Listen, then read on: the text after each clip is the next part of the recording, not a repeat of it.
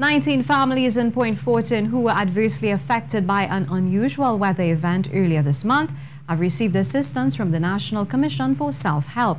On October 9th, vendors at the Point Fortin Farmers Market had to run for cover after isolated thunder showers accompanied by gusty winds resulted in tents being blown away.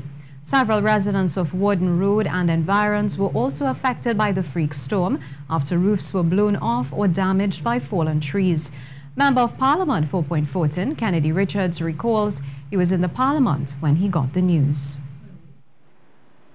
And that event was one that is um, very much unprecedented. The wind came from the opposite direction that it normally um, comes from, and it caused some mass destruction in the village that I reside in. And um, on that day, unfortunately, I wasn't able to, to be there physically because that was the second day, first day of the budget debate in the parliament.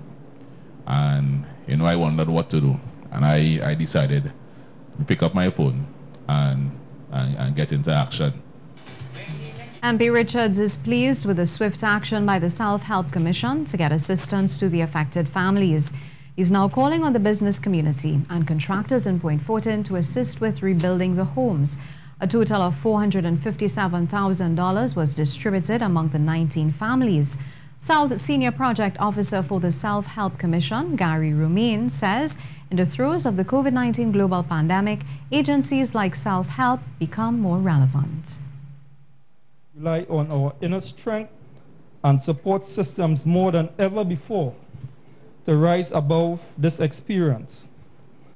According to Mr. Romain, the Self-Help Commission has distributed $2 million since the beginning of the new financial year on October 1st.